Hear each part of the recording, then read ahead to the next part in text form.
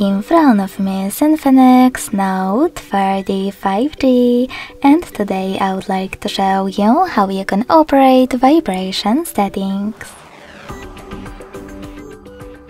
You need to begin by going into settings and scrolling down to access sound and vibration. Following that, scroll all the way down and click on Haptic Vibration. Then tap on this switcher next to them to enable or disable haptic feedback for touches.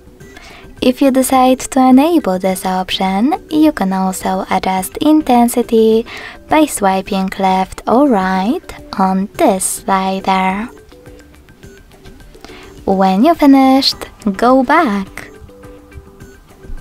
Now tap on Vibrate Vocals and apply one of those options for your incoming calls.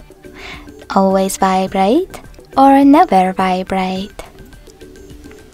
Lastly, go into Tap menu. Look for Sound Mode shortcut, which is this one and if you see bell icon click on it until it says vibrate.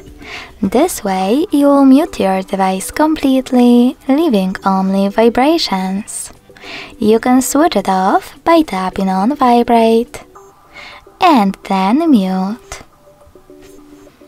Thanks so much for watching. If you enjoyed this video, don't forget to leave a like, comment and subscribe.